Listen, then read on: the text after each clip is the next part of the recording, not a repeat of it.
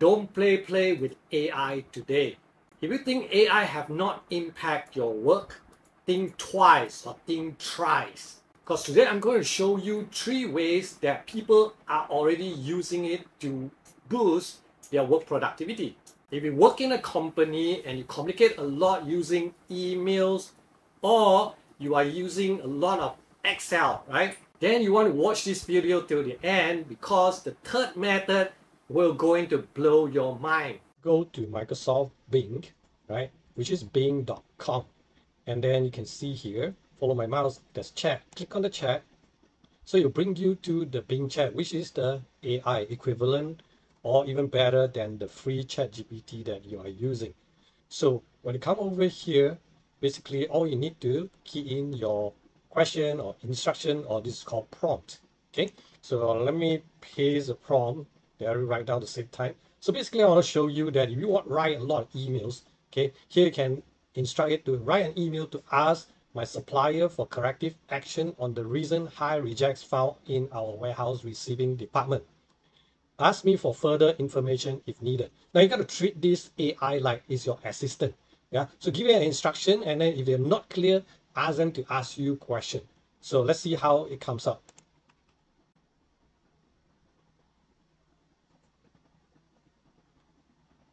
All right, so now you can see that it's starting to write your email. So you don't have to crack your head on how to write an email and so on.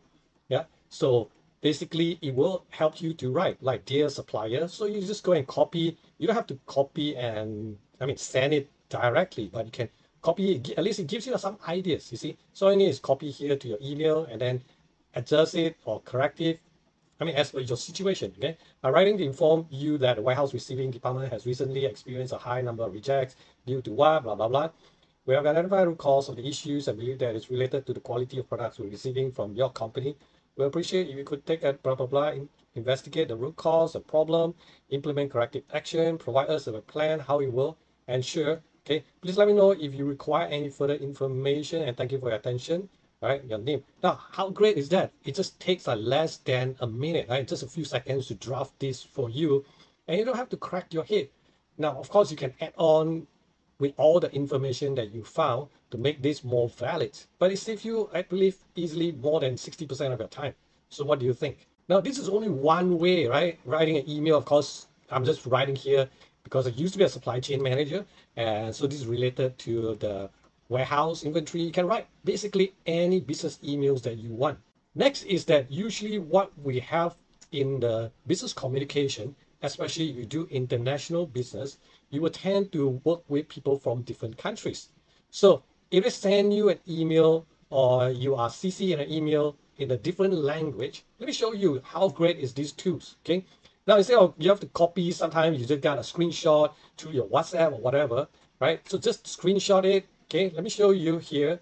Now I'm going to, let's say, click on new topic, okay? Chat, and then I'm going to add an image. So I'm going to upload this image that I already have it downloaded earlier. So now this is an email, right? And what I'm going to do is I'm going to attach this and then I say that translate the following document to English, right? If I want to translate to any language, it's totally up to you, okay?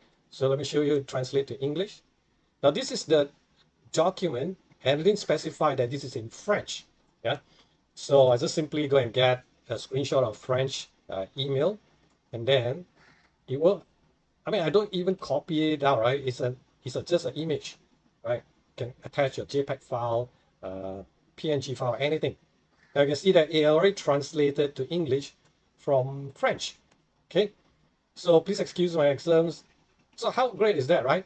Now you want to translate this into other language, by all means, you can do that as well, right? Let's say you want to translate or you want to forward this to uh, another of your colleague, let's say a above documents into so you're going to send it to your colleague in China, Chinese. Okay, simplify Chinese.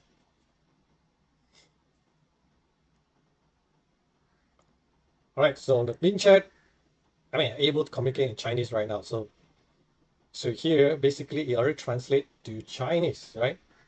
So all you need to do is that, just copy this, and then you can forward it to your colleague in China. I mean, just in case you need to do that, right? So how easy is that today? You don't need to learn. I mean, to me, you don't need to learn any foreign language right now. What do you think?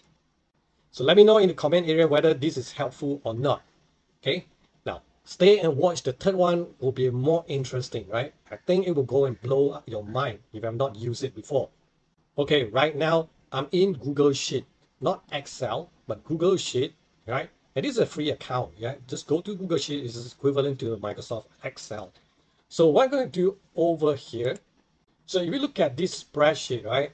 On the right-hand side here, yeah, which is just introduced recently, I just found out recently, maybe like last month, yeah? Then here, help me to organize. This is basically the AI or your AI assistant to help you create your spreadsheet. So here, let's put it give them a prompt, okay? So right, right over here saying create an inventory tracking, right? Where I can track the on-hand inventory, sales separated by dates, and the balance inventory. Now, if you give more information, it will create a better spreadsheet for you or spreadsheet templates that you can use rather than you start and build it from blank, right? So let's see how it works out. Now, within like seconds, okay, it actually created all this for you. Now, you feel that, hey, this is good enough, yeah? Then you just insert it, and there you go. You got your templates. Now, of course, you can insert extra column and, I mean, you can move it around, yeah, and edit as you want, but at least it gives you the basic structure, and you don't have to start from scratch. So how good is that? I want to go and try it and test it out according to what your job functions, right? What you usually use Excel for, and try to learn how to use this AI to help you build uh, Excel fast. AI today is getting smarter and smarter, and we should use it to help boost our work productivity or work performance rather than we reject them. Now, these are the three things that I see most people are using it right now at work but there are a lot other more like if you want the ai to help you brainstorm new ideas to your certain problems or automate your routine works tasks and many others if you like this video share it with your colleague or your teams and if you want to know what other functions that ai can help you to boost your work performance and I will find out for you. By the way, I'm Andrew, and if you like this type of work productivity content, do subscribe to this channel and turn on the notification bell so that every week when I publish the new content, you will be notified. And I'll see you real soon in my next video.